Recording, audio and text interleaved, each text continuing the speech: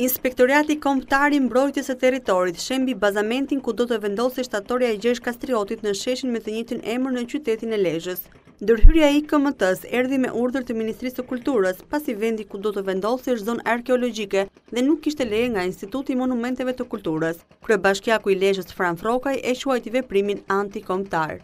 Unë nuk mendoj që është Instituti i Monumenteve të Kulturës, mendoj që është Instituti i Monumenteve të Antikulturës, sepse e them pa frikë që kultura shqiptare dhe sidomos kultura e shtetit shqiptar fillon me Skënderbeun. Do vazhdoj të kërkoj gjithmonë që ky bust dhe kjo shtatore të vendoset gjithmonë në Lezhë, sepse Lezhë është e meriton përpara pothuajse përpara shumë vendeve të tjera të Shqipërisë. Historia e Shqipërisë ka filluar me dy mars, dhe nuk ka mbaruar me dy mars. Kështu që do kemi kontakt edhe me kryeministrin dhe me gjithë personat të cilët janë marrë me këtë pjesë edhe pas datës dy mars, unë dua që dy marsi nesër të jetë korrekt. Ky veprim është dënuar ashpër nga qytetarë dhe historianë në Lezhë, të cilët tentuan të bllokojnë edhe ndërhyrjen e IKMT-së. Sinqerisht është një turp i madh kombëtar, është e pakonceptueshme, e paimagjinueshme këtë lloj veprimi.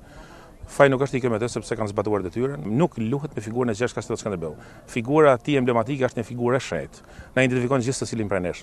Në momentin më të parë që lëvizet një gozhdë në objektin që ka lidhje me Gjergj Kastriotin Skënderbeu, të humbur janë ata që e prekin. Shtatorja e Gjergj Kastriotit, e cila është financuar nga Bashkia Lezhë, ishte programuar të inaugurohet ditën e shtunë në kuadër të kremtimit të Besëlidhjes së Lezhës, ndërkaq kryebashkiaku Frrokaj kishte paralajmëruar se nëse shtatorja nuk do të vendoset brenda datës dy mars, do të braktisë aktivitetin e programuar nga qeveria.